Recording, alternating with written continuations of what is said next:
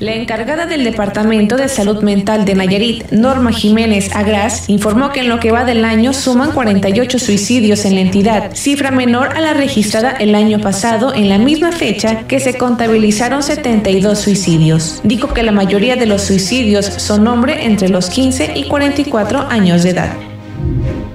En comparativa con el 2023 tenemos menor número de suicidios.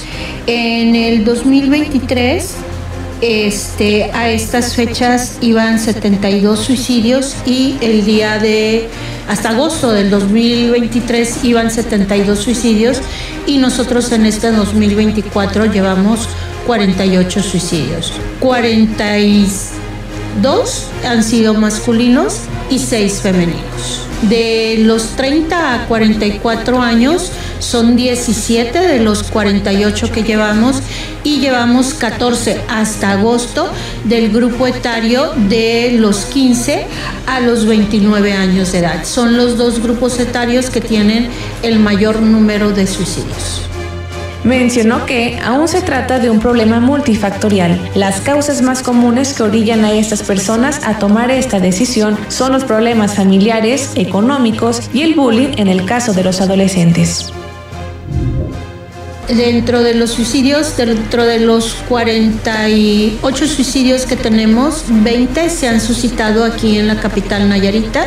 Sin embargo, hay que ver que tiene mucho que ver la población.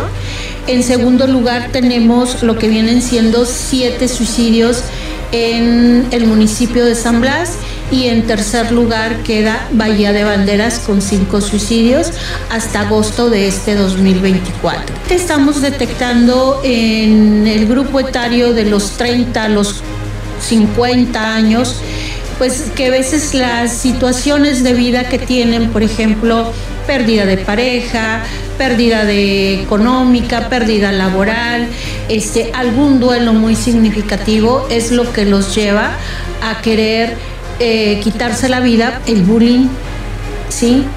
Este, son muy vulnerables para lo que viene siendo el bullying que se va dando Jiménez Agras destacó que en los municipios de Jalisco, Jala, Caponeta y Ruiz no se han reportado casos de suicidios. También mencionó que cada día hay más conciencia sobre los problemas de depresión y ansiedad y al identificarlas las personas acuden con un especialista. En caso de una emergencia es importante comunicarse en la línea de intervención de crisis del CESAME al 311-214-0101 en donde especialistas atienden las 24 horas del día. Con imágenes de Alonso Flores, informó para Televisa Nayarit, Victoria Leija.